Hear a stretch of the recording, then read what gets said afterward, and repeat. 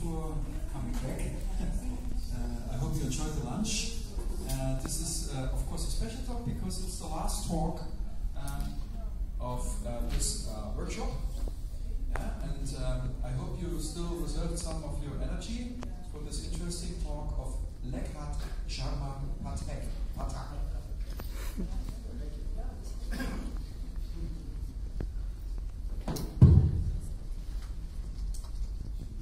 Welcome back uh, after lunch.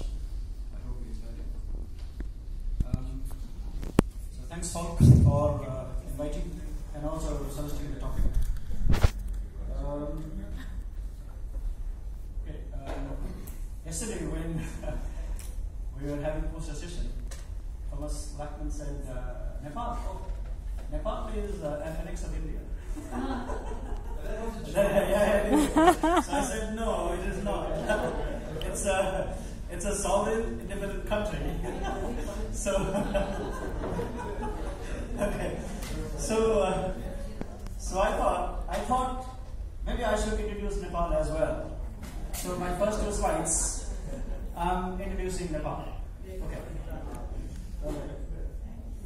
So a brief cognitive science introduction for cognitive science audience. So Nepal is like the central L in a flanker task trial, flanked by China on the north and India on the south. It's a Uh, I'm coming on, I'm congruent in congruent everything. And very much like the central arrow, we turn to the left or right. Mind the capitalization of L and R. we turn to the left or right, depending on the congruency in our relationship. And both of our flankers exert a great influence on us, how we respond to them. Our relationship with both of them is mostly congruent, and even in incongruent situations, the conflict will be resolved very fast. But we prefer remaining in neutral condition to both and avoid any conflict. Whoa. Uh, some confounding variables. And there are some confounding variables that we will never be able to control. We share two of the most important things that Nepal prides on with both Buddha and Mount Everest. Buddha was born in Nepal and was enlightened in India. The highest peak of the world, Mount Everest, is in Nepal, but also extends towards China at its northern base. All the waters from our Himalayan rivers run. Thus, we are the biggest free suppliers the most resource on this planet, the fresh water. It's the largest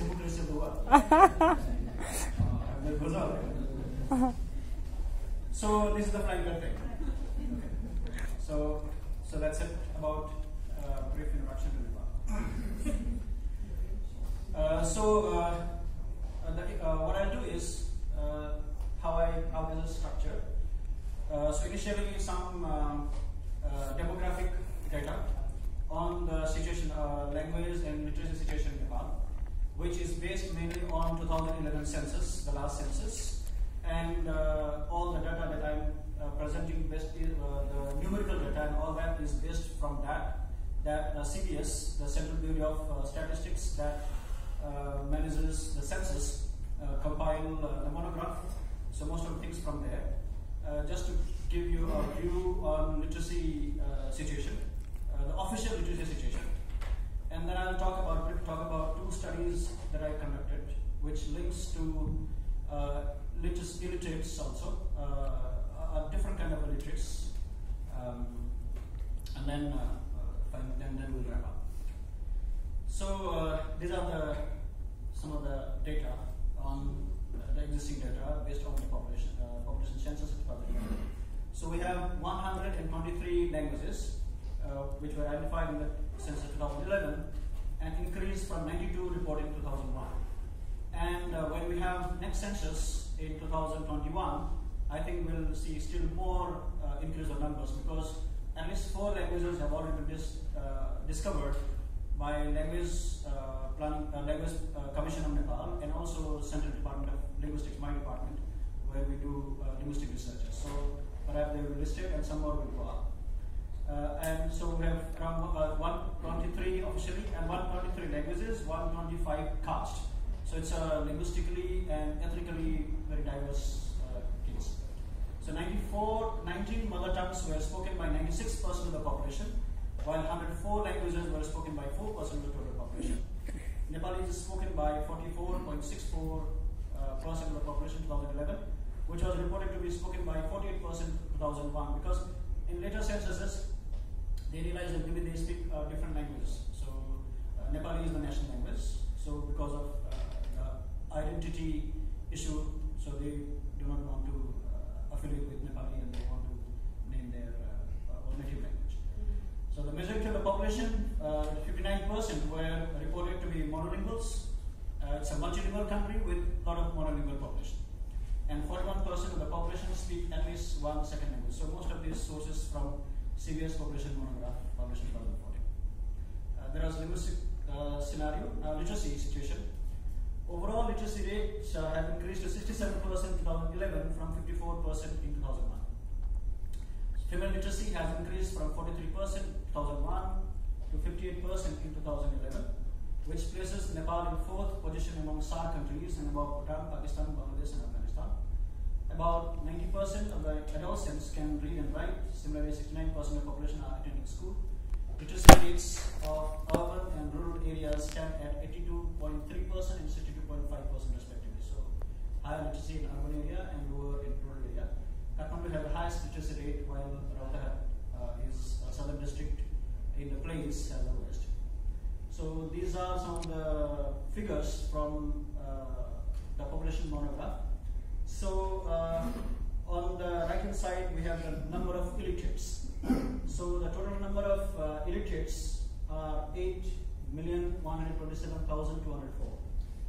Uh, and which is divided into urban and rural. So again, this shows mostly on rural, 7,383,530 and uh, 623,634 in uh, 743,000 uh, Again, with ecology side also, so Nepal has three uh, distinct geographical region, ecological zones, mountain, hill, and tarai. Tarais are the plains which border uh, India, and the mountains are the high altitude areas which border uh, China, and the hills in between. So very often uh, when people from Nepal, uh, we have some of the highest mountains in the world, and when we go to the Europe and all that, and when they show us their mountains, they look like hillock to us. They are very small. and so you call this uh, mountain? No, we don't even call this hills. so uh, uh, you can see this. Uh, the number of illiterates in uh, so we have both uh, consistently the male uh, uh, literacy is higher and uh, female literacy wise is higher, so that way number goes down for male. Uh, so likewise, if you see mountain, so 21, 215,412 for male and uh, 408,222 for female, so that way, that's how it goes. Uh, uh, the reason why there are less illiterates in mountain and more in uh, Tarai or plains is also because of the, the population density. Uh, population density itself is low in the high altitude mountains. So that they, uh, if you average the entire thing in the national scenario, so that goes up. Uh, whereas population, density is very high in the plains. So that way you see even the number of illiterates also very high. Um, so likewise, uh, we had five development regions earlier when 2011 census was conducted. Uh, now, uh, with the new constitution in place, with the monarchy gone and republic in place, uh, uh, the whole there is a, a restructuring of uh, the political divisions within the state. Uh, so, in place of five developmental regions, we have seven states. So, but then uh, that doesn't make any difference to the, the geography and also the population. It's only the boundaries have been redrawn within the state itself. Likewise, it goes on that. So I'm not going into each of this. So just to give a picture of how it's like. So that's a map of uh, uh, the literacy. Uh, so uh, um, So mostly the male, even the map also shows uh, the density of male literacy very high and female very low. And you can see the eastern part has higher literacy and the western part you know, has very uh, literacy, especially among women now. Um, okay, so these are uh, this is a table uh, with uh, five years age wise accounting. I don't think you really need all that kind of data right now because that may not be very important. So by age group and sex and all that sort of division, that I'm going a bit fast on this, so I'm not uh, fixing on number. Uh, okay, so that's on uh, ecological belt, mountain hill and all that. Uh, so it, this is an increase uh, kind of thing. Obviously, every 10 years, uh, with government programs and all that, the literacy level keeps going up, and the number of illiterates keep going down. Uh, okay, so this is again the detailed division of that. So I'm skipping this. So uh, briefly, so this is uh, literacy population of uh, six years and above in person from 1971 to 2011. So if you see that, uh, so uh, the female literacy is increasing. Uh, comparatively, it's always lower, even lower to the national average, and obviously lower to the male literacy throughout till the last census. Um, so this is uh, intercensal uh, change in literacy, where with every succeeding census, uh, there is improvement in literacy rate. So this is a comparison in uh, South Asian countries. Only Afghanistan's uh, data is not here. Uh, so uh, highest is Sri Lanka with 97, 96%, followed by Maldives 94, followed by India 74, followed by Nepal 67, and then with Bangladesh at the lowest 56. So, so Nepal stands somewhere in the middle in the uh, scenario. So, uh, so after going back, uh, I went back to my university from uh, CNCS Hyderabad. So whatever skills training I had got there, so I initiated uh, a lab in my own department uh, while teaching psycholinguistics and started giving them project on designing psycholinguistic experiment and uh, doing some studies. So uh, one of so two of these are ongoing. Uh, biology effect on executive control and effect of L2 literacy on L1 and L2 language processing. So the first one uh, that Savita is doing for her uh, master's thesis, we had a poster yesterday and it's still outside.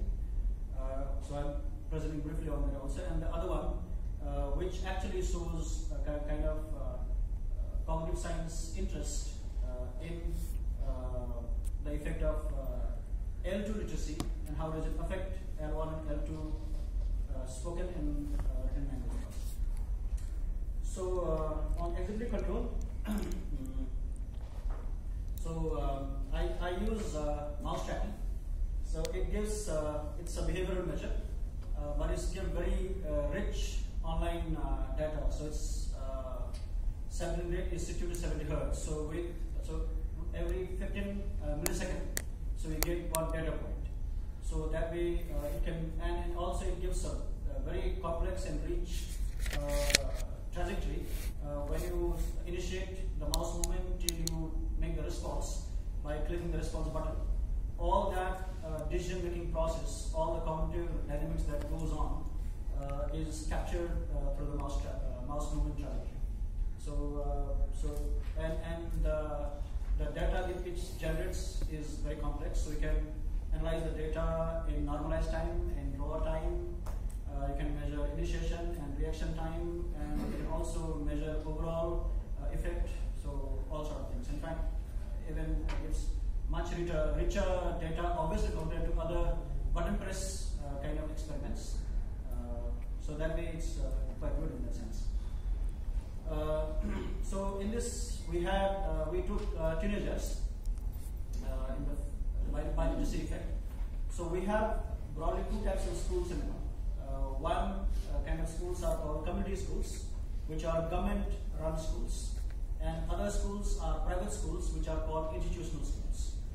So uh, mostly uh, in private schools, uh, the fee is high, and the mostly the dominant medium of instruction is English.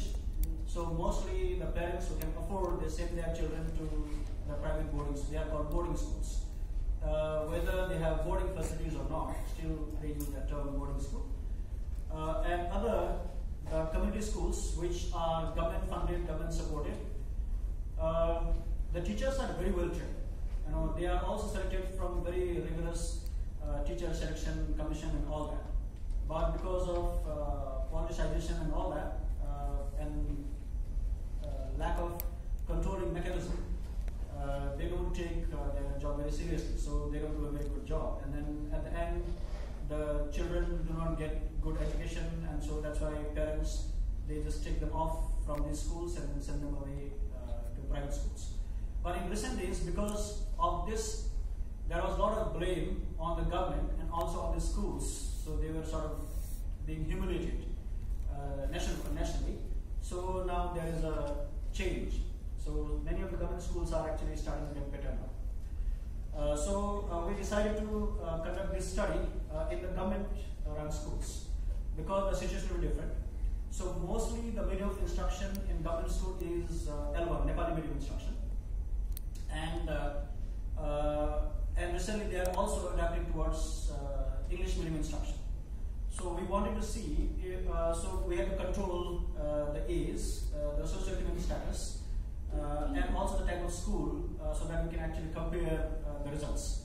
So we have two schools in the same neighborhood, so that there won't be much of difference in the, the, the all socioeconomic education and type of school and all that. So one school where it was mostly in L1 instruction, and another school where it was both. Uh, it was L1 uh, Nepali uh, medium instruction and also English medium instruction. So then we designed uh, this task. So I designed, uh, so I want to study bilingualism. So uh, I modified the, the common monolingual task, the flanker and Stroop task. These are mostly used in monolingual situations. So I made them all entirely bilingual. So I also designed the baseline. So where without experimental manipulation, they just have to click uh, the mouse, the response, so that we could only measure uh, the mouse click uh, response time, uh, which we could compare with the experimental manipulation in Stroop and flanker task. So the response was uh, both in English and Nepali baseline. I'll show you. So this is the so this was between subject design. And so participants, we have 77. So this is we are still collecting more data. So of this uh, group one, group one is uh, L1 uh, instruction, and uh, so where we had 40, and with uh, 19 males, and group two uh, English medium instruction with uh, 19 males. This was 737. So all 19 teenagers studying in two different schools of Kathmandu. So mean is around 15. Uh, so it's similar in both the groups. Uh, mean uh, L2 um, uh, uh, age of acquisition was uh, 6.5 years, 5.5 years close. And so we also did uh, LexTALE, uh, LexTALE uh, to measure uh, L2 uh, lexical decision. Uh, so that how do they do, because even in L1 medium instruction also there will be some uh, English because there is English as a subject. So that way we wanted to compare that. And then we didn't find much of a difference. So even uh, the L1 medium instruction, they did fairly well. We had uh, 54.39% uh, with uh, 5.4 standard deviation, whereas the L2 instruction was better, 57.83. So it was a look and click task where the participant had to mouse click the corresponding response as per instruction. We also, so we have this task, so baseline, flanker Stroop, all bilingual condition. So we also uh, use verbal fluency task, both L1, L, L1, L2 production tasks. Uh, so uh, in English we have the standard FAS. In Nepali, uh, because we don't have standard letters yet, so so what you do, what you did is we, we have we have a corpora.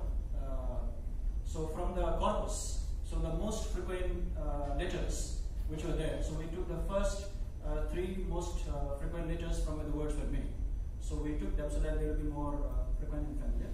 And uh, we also use uh, semantic fluency, uh, animal, clothes, fruit, vegetables, flowers, and their equivalent in Nepali. Um, so, uh, so these are these are the uh, sample trials. So, so like these are different ones. So we have this here. When they have it, so they have just click here. So uh, this is in baseline condition. So it, it was both in uh, English and Nepali. Uh, in this one, so the flanker. So uh, you can see यहाँ uh, Nepali. So this was also replaced with uh, here uh, in English. So the central arrow was pointing to the uh, right. So they had to click on the right. So it was pointing on the left. They had to click uh, on this. But the only thing was so the language condition was uh, uh, L1 or L2. So this is uh, in Stroop task. So green uh, in uh, congruent situation. So we have this green, red, and yellow, blue. So uh, the color, uh, the ink in which it is written, and the word would be in, on different sides. So they had to uh, inhibit the activation, the word activation, and had to respond on the, the ink color. So like for this was English, and so for Nepali we created uh, similar thing. So likewise it was for all conditions. So from this uh, results, uh, with this verbal fluency results, what we saw in, uh, in fact, this was very, uh, uh, even if um, the L1 minimum instruction children were instructed only in Nepali, the L1, uh, and L2 minimum instruction students were uh, had exposure to Nepali and also were uh, instructed in English, so their performance was consistently better. Now, if you just see this, so in curve, so in L1 minimum instruction first group 6.3 and in L2 uh, 8.4, uh, GER 4.8 and GER 6.1 and MER 5.6, SARE 7.2. So even in L1, uh, uh, verbal fluency task, uh, the L2 uh, instructed children are doing better. Obviously, um, English, the L1 uh, instructed had 6.9, uh, where L2 had 9.9, A was 5, here A was uh, 7.8, S was 6.2, S was 9.4. So obviously English is better. So likewise in uh, semantic fluency also, uh, consistently for every item, uh, they have done better. So for uh, Janavar is Nepali, uh, animal in Nepali. Uh, so it was 9.8, uh, it was uh, 10 on L2. Luga is clothes, 7.8, and it was 8.9. Pulp is fruit, it was 8 there, uh, 8.2, close. So Tarkari is vegetables, uh, it was 8.3, uh, uh, at 10 here. Uh, like flour, food, so it was 3.8, 4.7. So likewise in English also they have constant. So uh, now this is where this becomes interesting. Even what Alexis did. So we have cited this in where you say um,